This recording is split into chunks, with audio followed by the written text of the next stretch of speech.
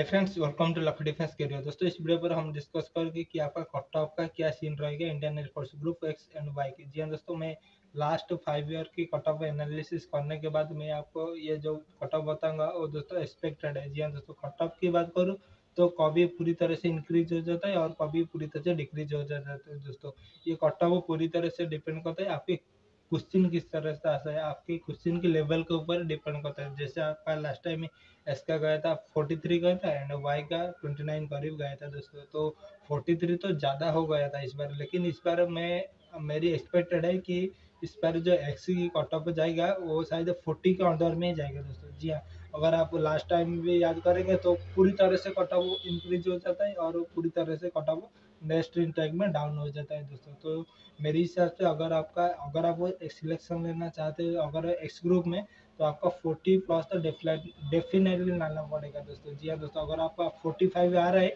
तो आपका 100 percent selection होगा।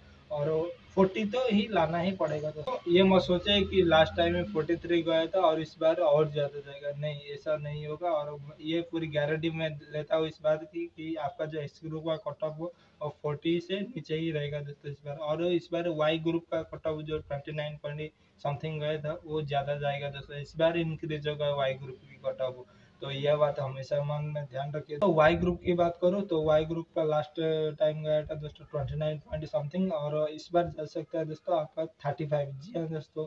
थर्टी थ्री थर्टी फोर करीब इस बार जा सकता है क्योंकि मुझे ऐसा क्यों लगता है कि इस बार एक्स का कटा हुआ थोड़ा सा डाउन रहेगा और वाई का थोड़ा सा इंक्रीज होगा as compared to previous time तो दोस्तों इतना ही कट ऑफ़ जा सकता है। बेस्ट ऑफ़ लक आपके फ़र्स्ट के एग्ज़ाम के लिए और आपको बेफिक्र होके जाइए, है ना? आपका एग्ज़ाम में अपनी बेस्ट दीजिए। ऐसा मत सोचो कि मुझे इतना लाना है, इतना लाना है। नहीं, अपना बेस्ट दीजिए, देखते हैं कितना कटा हो जाता है।